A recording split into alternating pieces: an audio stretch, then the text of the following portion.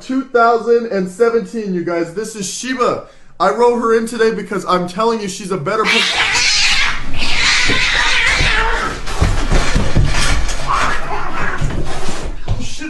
Person. Oh.